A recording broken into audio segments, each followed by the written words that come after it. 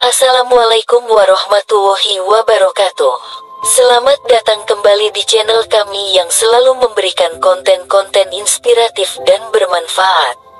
Pada video kali ini, kami akan membahas sebuah peristiwa yang viral di media sosial, yaitu imam sholat subuh yang meninggal dunia saat sujud. Mari kita simak bersama-sama cerita yang mengharukan ini dan semoga kita bisa mengambil hikmah dari kejadian ini. Jangan lupa like, share, dan subscribe untuk mendapatkan konten-konten menarik lainnya dari kami. Selamat menonton. Viral video yang memperlihatkan seorang imam sholat subuh di sebuah masjid di kota Balikpapan, Provinsi Kalimantan Timur, meninggal dunia ketika sujud. Peristiwa ini dilaporkan terjadi pada Selasa tanggal 2 Januari tahun 2024. Dalam keterangan unggahan video yang viral di lini masa media sosial itu diketahui imam sholat subuh tersebut bernama Haji Andi Syamsul Bahri. Ia merupakan ulama setempat sekaligus pemilik apotek Arif Rahman di Balikpapan Barat. Dalam rekaman video viral yang berasal dari CCTV itu terlihat Haji Andi sedang membacakan ayat-ayat suci Al-Quran pada rakaat pertama sholat subuh. Lalu ketika saat sujud pertama, ia terdiam cukup lama, hingga akhirnya terjatuh di atas sajadahnya di depan para makmum dan jamaah sholat subuh.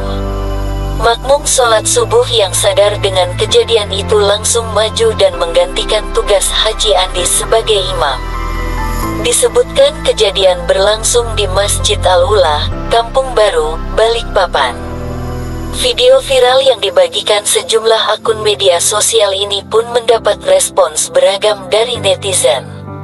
Salah seorang netizen bahkan bersaksi bahwa Haji Andi Rahimahullah adalah orang yang dikenal sangat baik. Beliau memang orangnya baik, anaknya juga ada yang hafiz Quran. Semoga Allah terima amal ibadah beliau, dan dimasukkan ke dalam surganya Allah. Amin Allahumma amin. Tulis salah seorang netizen. Cara meninggal yang banyak diirikan oleh orang lain, ungkap warganet lain.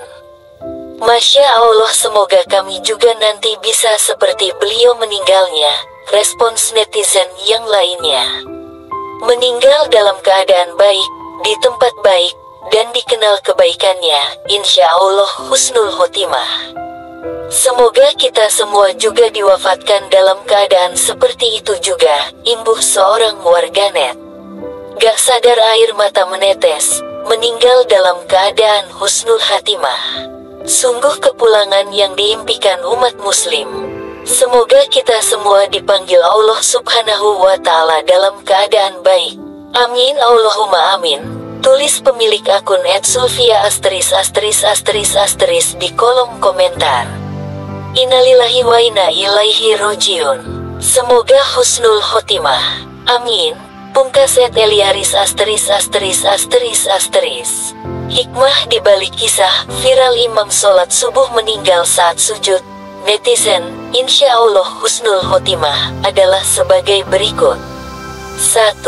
Pengingat kematian, kejadian ini mengingatkan kita bahwa kematian bisa datang kapan saja, bahkan saat sedang beribadah. Hal ini membuat kita lebih sadar akan pentingnya mempersiapkan diri untuk menghadapi akhirat dan menjalani kehidupan dengan penuh kebaikan. 2. Ketulusan dalam ibadah, imam yang meninggal saat sujud menunjukkan ketulusan dan kesungguhan dalam melaksanakan ibadah. Kisah ini mengajarkan kita untuk selalu beribadah dengan hati yang tulus dan konsentrasi penuh, karena kita tidak pernah tahu kapan kita akan dipanggil oleh Allah.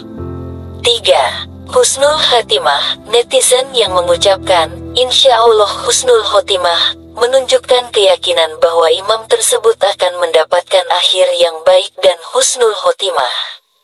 Hal ini mengingatkan kita untuk selalu berdoa agar kita juga mendapatkan akhir yang baik dan diberikan kesempatan untuk memperbaiki diri sebelum ajal menjemput.